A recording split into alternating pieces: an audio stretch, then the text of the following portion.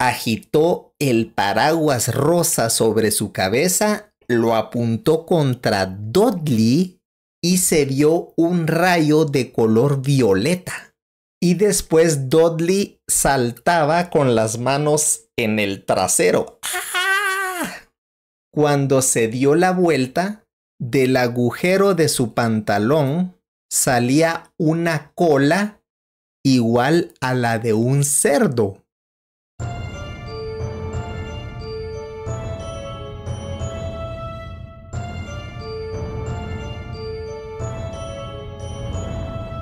Bienvenidos a un nuevo video de Aprende Español con Harry Potter. Mira el video y trata de comprender las situaciones. No te preocupes si no entiendes alguna palabra. Puedes ver el video otra vez para comprender mejor las situaciones. Si este contenido es demasiado fácil para ti, puedes ver el mismo video pero para un nivel intermedio en este canal. Hola, mi nombre es Ismar y hoy hablaremos de la segunda parte del capítulo 4 del libro Harry Potter y la piedra filosofal. Hagrid se sentó miró fijamente el fuego y luego continuó hablando. Comienza, supongo, con una persona llamada... Pero es increíble que no sepas su nombre. ¿Quién? preguntó Harry. Bueno, no me gusta decir su nombre si puedo evitarlo. ¿Por qué no? preguntó Harry. Gárgolas galopantes, Harry. La gente todavía tiene miedo. Vaya, esto es difícil. Había un mago que se volvió malo, muy malo, tan malo como tú puedas imaginar. Peor peor que peor. Su nombre era... Hagrid tragó, pero no le salía la voz. La voz no le salía. ¿Quiere escribirlo? le dijo Harry. ¿Quiere escribirlo? Oh, no sé cómo se escribe. Está bien. Su nombre era Voldemort. Y Hagrid se estremeció al decir este nombre. No me lo hagas repetir, dijo Hagrid. De todos modos, ese mago hace unos 20 años, hace unos 20 años comenzó a buscar seguidores y los consiguió. Consiguió seguidores. Algunos porque le tenían miedo. Otros porque querían algo de su poder. Su poder. Porque él iba consiguiendo poder. Eran días oscuros, Harry. Nadie sabía en quién confiar. No podías hacer amistad con magos o brujas desconocidos. No sabías en quién confiar. Sucedían cosas terribles y él se iba apoderando de todo. Por supuesto, algunos magos o brujas se le opusieron, pero él los mató. Él los mató. Horrible, horrible. Uno de los pocos lugares seguros era Hogwarts. Hay que considerar que Dumbledore era el único quien tú sabes, le temía. No se atrevía a apoderarse del colegio. Al menos no en esa época. Ahora bien, tu madre y tu padre eran la mejor bruja y el mejor mago que he conocido. En su época en Hogwarts eran los primeros. Supongo que el misterio era por qué quien tú sabes nunca intentó ponerlos de su lado. Tal vez él sabía que ellos eran demasiado cercanos a Dumbledore para querer tener algo que ver con el lado oscuro. Tal vez quería persuadirlos o simplemente quitarlos de en medio. Pero lo que todos saben es que un día apareció en el pueblo donde ustedes vivían. Un día de Halloween. Hace 10 años. Hace 10 años.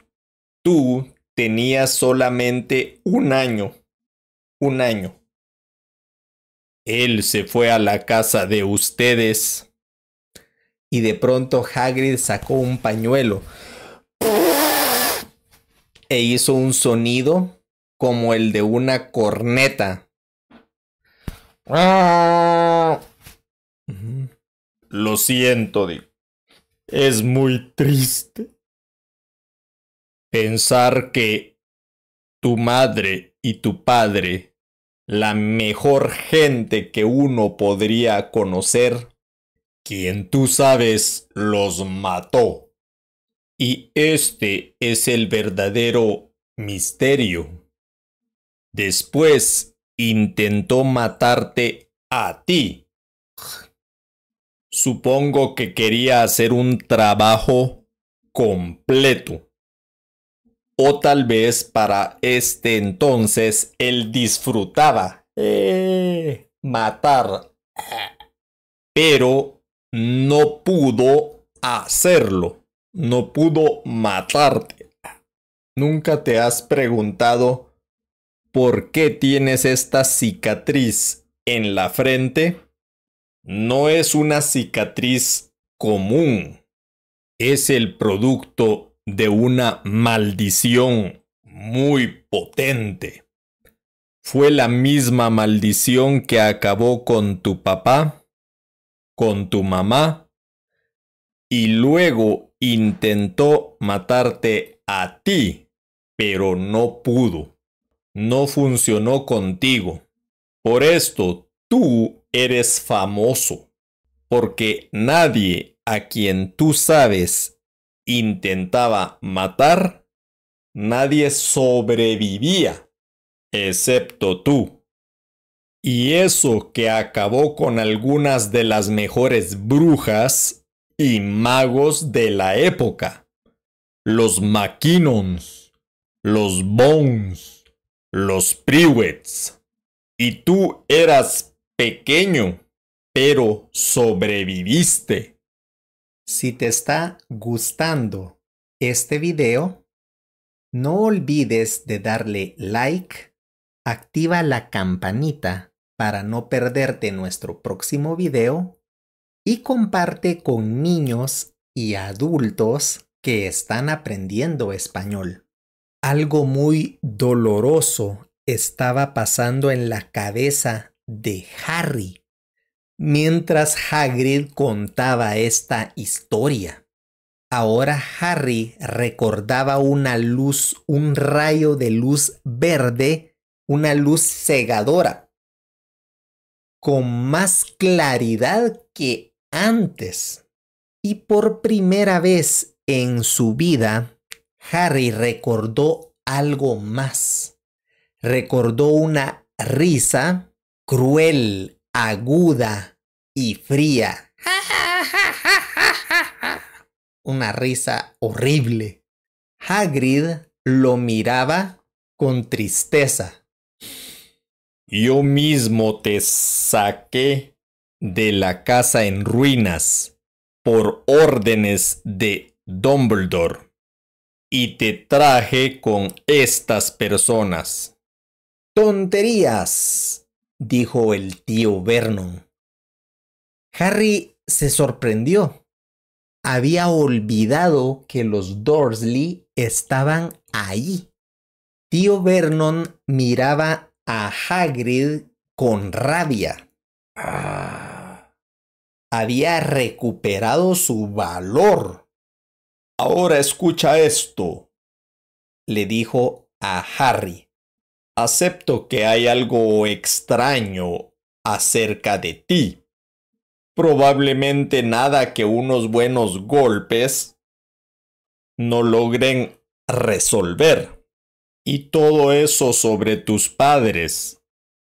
Bien, ellos eran raros, no lo niego. Y en mi opinión, el mundo está mejor sin ellos. Recibieron lo que buscaban al mezclarse con esos brujos. Yo sabía que ellos iban a terminar mal. Pero en aquel momento el gigante se paró, sacó el paraguas de su abrigo y apuntó al tío Vernon y le dijo, Le advierto, una palabra más.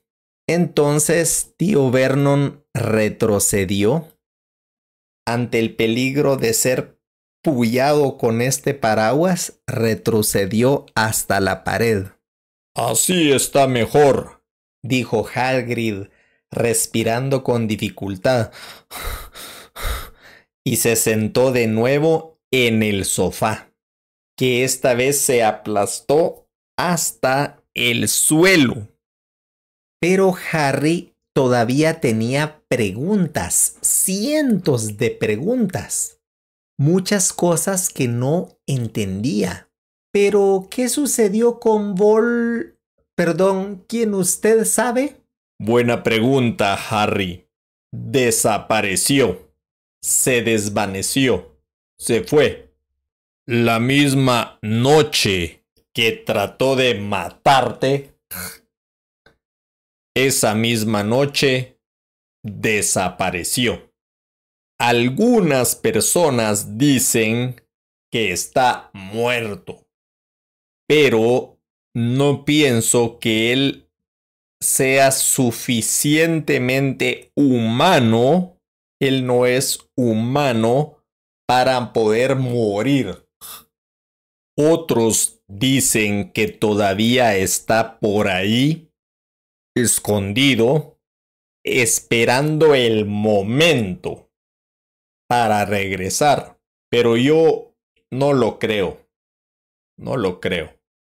La gente que estaba de su lado volvió con nosotros. Algunos salieron como de un trance. No creen que podrían volver a hacerlo si él volviera. Muchos de nosotros pensamos que está en alguna parte, pero que está muy débil para poder continuar. Pensamos que algo que pasó aquella noche relacionado contigo lo confundió. Algo que él no pensaba, él no pensaba que podía pasar.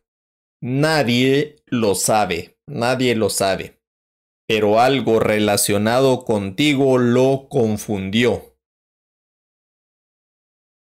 Hagrid miró a Harry con afecto y respeto. Pero Harry estaba confundido. En lugar de sentirse orgulloso, pensó que todo esto era una terrible equivocación. ¿Un mago? se preguntó Harry. ¿Cómo era posible que él fuera un mago? Si él era un mago, ¿por qué no había convertido a sus tíos en sapos llenos de verrugas cada vez que ellos lo encerraban debajo de la escalera en su alacena. ¿Y por qué Dudley lo pateaba y lo golpeaba? Igual que a una pelota de fútbol. ¿Por qué siempre le pegaba y lo pateaba? Hagrid, dijo Harry, no creo que yo sea un mago. No creo que yo sea un mago. Pero para sorpresa de Harry, Hagrid se rió entre dientes. No eres un mago, ¿eh?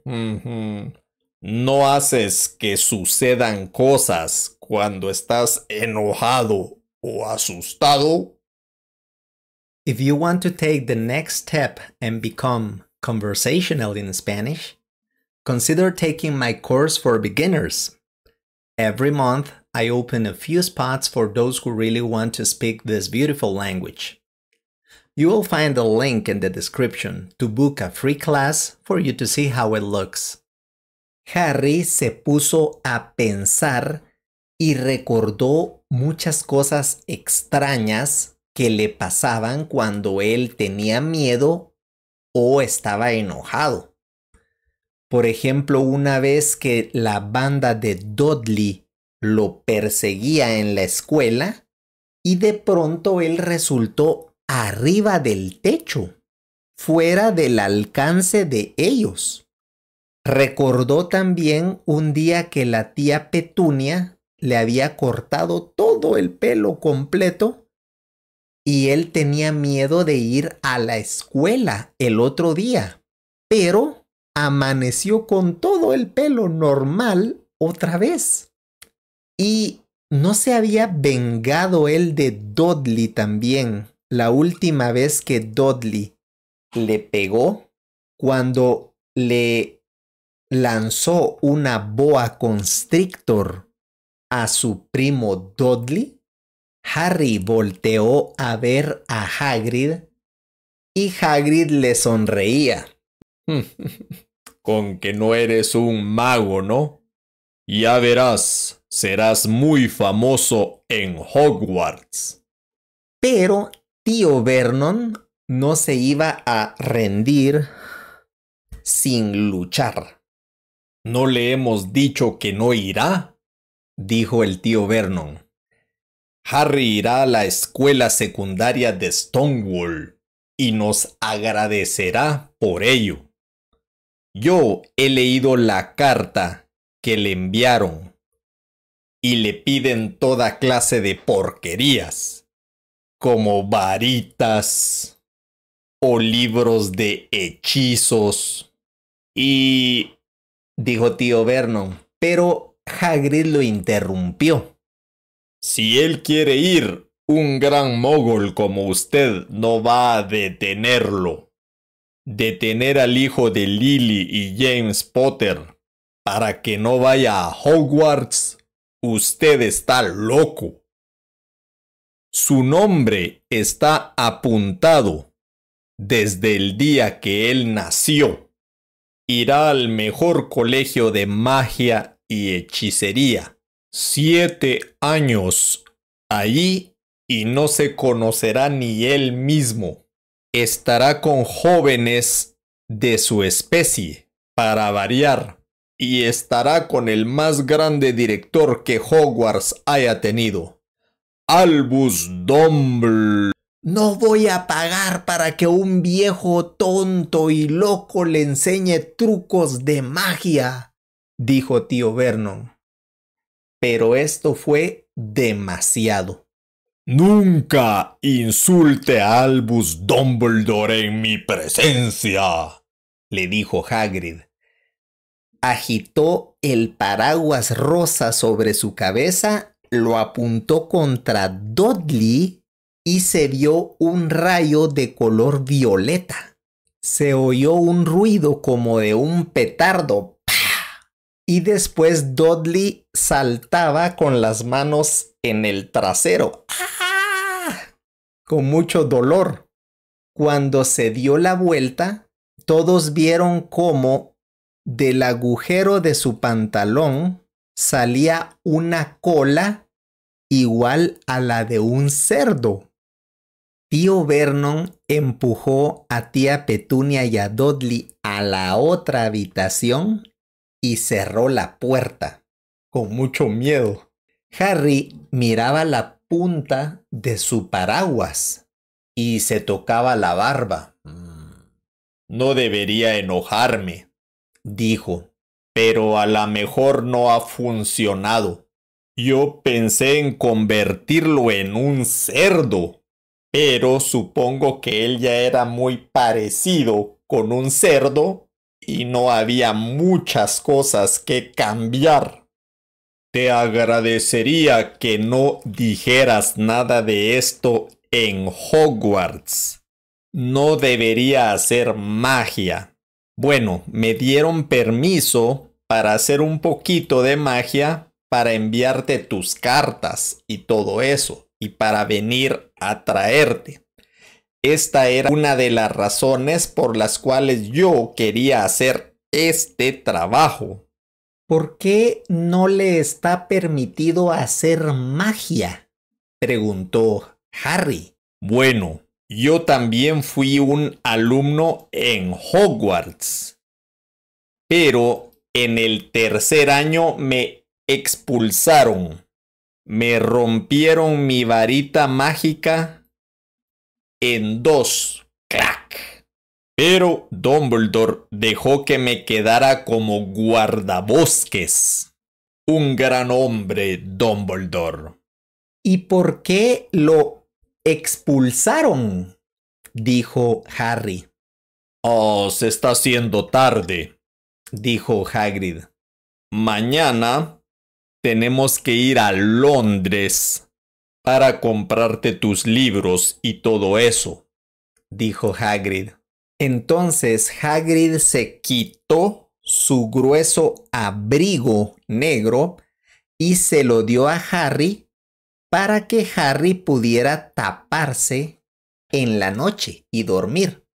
Y le dijo, No te preocupes si algo se mueve.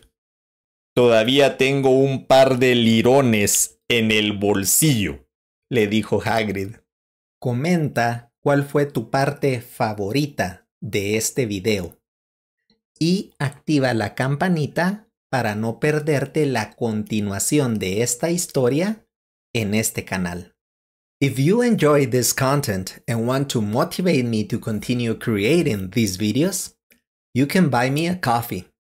You will find my PayPal link in the description. Muchas gracias y hasta la próxima.